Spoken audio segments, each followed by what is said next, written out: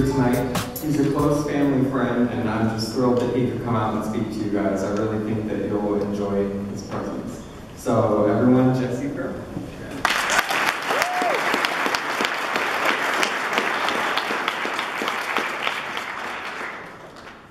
Is this incredible with this talent behind me? What about the talent in the room?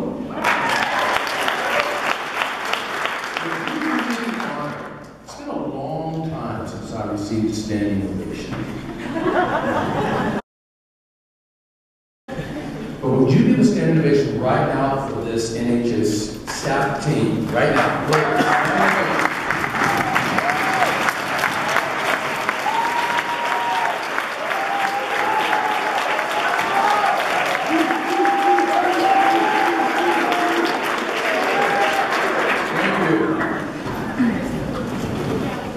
Any freshmen in the room? Just one? Any sophomores in the room? Okay. Any juniors in the room? Are there any seniors in the room? Are there any parents in the room? Sophomores, did you hear those parents? We are. Now this time I want you to say it like you mean it. We are. Absolutely. If you if you are in this room and you have a GPA of 3.5 or better, let me hear it. If you have a GPA of 3.8 or better, let me hear it. If you have a GPA of 4.0 or better, let me hear it. It's a smart group right here. Really smart. You're really, really smart teenagers, you're really, really smart young adults, and it's not enough to be smart in our world. Do you believe me? I'm proud of you for your GPAs. I am proud of you for getting here.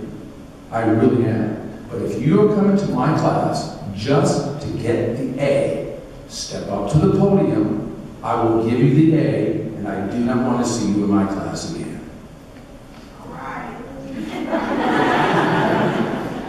No one took it, but that lady took it.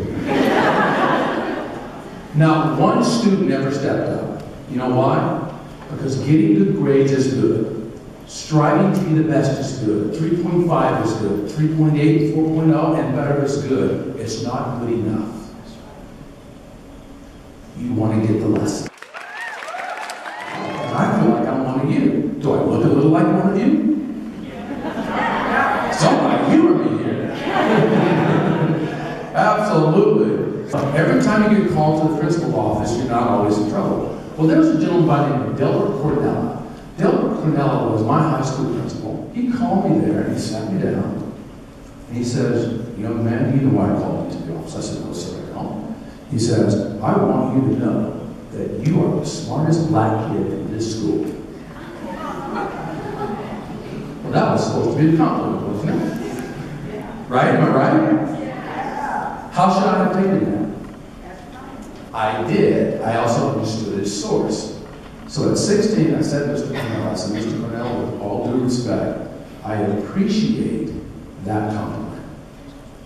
But I do not compete against black children. When I leave your school in two years from now, I'm going to be competing against the world.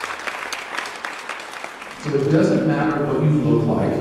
It doesn't matter what your religion is. It doesn't matter what your sect is, or your culture, or it doesn't matter where you're from, as much as it matters where you're going. You want to build relationships. You don't want to just get the grade.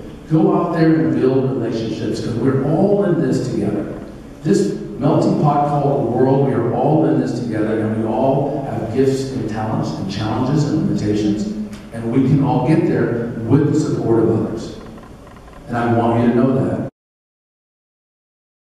Muntu, Ingemuntu, Ingebantu. A person is a person because of other people.